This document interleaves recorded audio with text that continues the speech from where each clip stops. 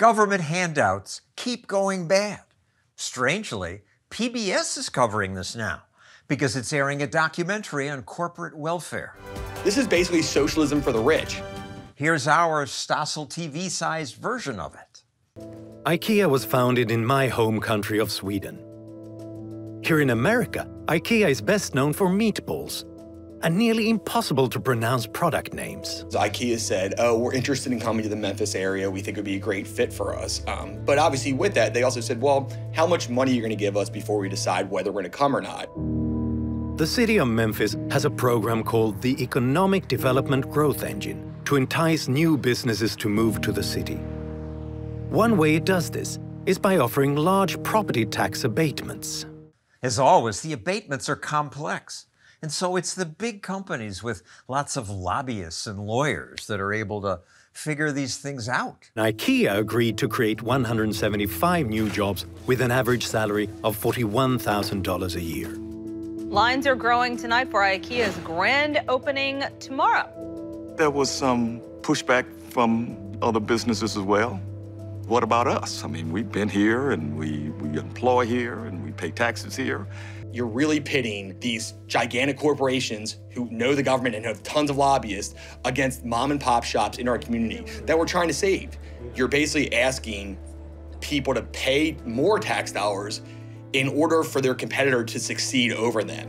Two years after IKEA Memphis opened to much fanfare and millions in tax breaks, new documents show the Swedish furniture retailer doesn't have as many jobs on the site as they promised. There's only one IKEA in Memphis, but there's 15 to 20 independent furniture stores in Memphis. Where's our tax break? Less than two years after IKEA opened, King's Furniture went out of business. These are our tax dollars. We work really hard for them, and they should go to things that we need. They should go to essential government services, roads, schools, police, fire. I mean, that's what this money should go to. I don't, I think it's essentially just not the role of government to give money to big corporations at the expense of small business owners. Many such programs begin with good intentions, but they result in unintended consequences. And those unintended consequences never, ever go away. We will always stand with the American farmers. Now to the Farm Bill. America's annual farm bills give money to farmers to make sure America has an adequate food supply. But that justification is just bunk. Most crops don't get subsidies, and they do just fine. Farmers choose to raise corn and soybeans because those are the um, crops that there's government uh, guaranteed uh, revenue insurance. Exactly. Guaranteed money. And who gets it? It's the big guy who have the resources, not just to lobby in Congress, but to actually have entire shops to try to get and maximize the amount of subsidies that they're getting. Many of which are not even American companies. In 2016, the largest pork producer in the US, Chinese-owned Smithfield Foods, increased consumer prices in stores, but decreased the amount they paid farmers for live hogs.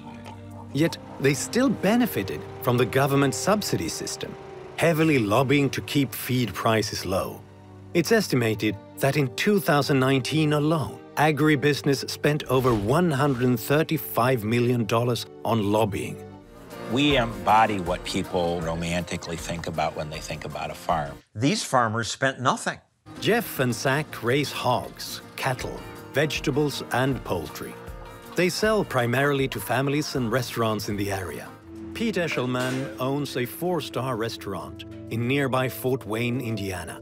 In 2015, the Indiana State Legislature invited Jeff and Pete to make a presentation on farmers markets and local restaurants. I come today as a fifth generation Wabash County farmer. My son, who is my partner, is the sixth generation. What that but means is they were in for a surprise. We finished our presentation, and the chair of the committee said, Well, that's illegal. They immediately had to stop selling and serving chickens from the farm. They basically came up with a story that small farms processing chicken on the farms is a health risk. What really happened was that the bigger, politically connected farms got the legislature to ban competition. But Hawkins Chicken was popular. So that's how a hashtag was born. Hashtag keep chicken on the menu. like, you've enjoyed this meal, will you please contact your representative? People were telling us they would call and they actually would lead with, is this about the chicken thing when they picked up the phone? Not even hello. Once again, Jeff, Zach, and Pete head to Indianapolis to testify. The opposing side was not only represented by state regulators, but also by large agricultural lobbying interests, including the Indiana Farm Bureau, the Indiana State Poultry Association, the Indiana Pork Producers Association. It's all about eliminating competition. However, in this case, the social media campaign continued to create enormous public pressure.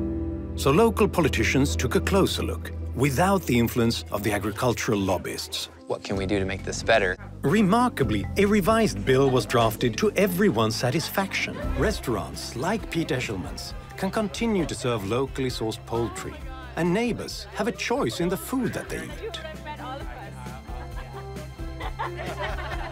A rare happy ending, one small victory amidst America's growing welfare for the rich. You can watch the full documentary at Free to Choose Network. Thanks for watching our video. If you enjoyed it, hit the like button and subscribe to see our next one.